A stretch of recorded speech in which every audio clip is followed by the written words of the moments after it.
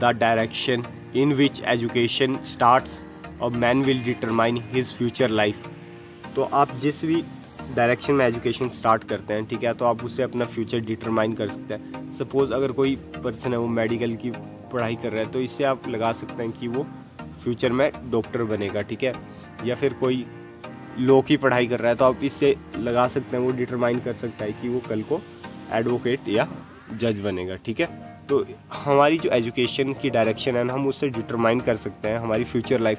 ठीक है, ये तो बात होगी फॉर्मल एजुकेशन की। अगर हम बात करें इनफॉर्मल एजुकेशन की या खुद की लर्निंग से तो इलोन मस्क ने स्पेस एक्स जैसी कंपनी खड़ी कर दी। सिर्फ़ खुद उसने बुक से नॉलेज लेके, खुद स्टडी करके उसने इतनी बड़ी कंपनी खड़ी कर दी। तो आपकी एजुकेशन डिटरमाइन करती है कि आपका फ्यूचर क्या होगा, ठीक है?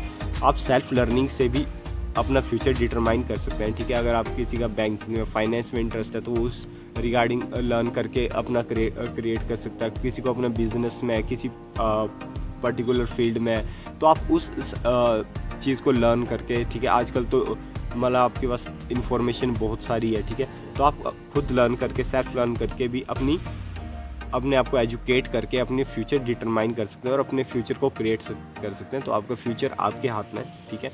और आप किस जो भी फ़ील्ड में आप जाना चाहते हैं, आपका जो भी इंटरेस्ट है, ठीक है तो आप उस फ़ील्ड के रिगार्डिंग एजुकेशन गेन कीजिए इन्फॉर्मेशन लीजिए और उस पर्टिकुलर फ़ील्ड में आगे बढ़िए, ठीक है? So I hope guys you like this quote मिलते हैं नेक्स्ट कोर्ट में, तब तक टेक केयर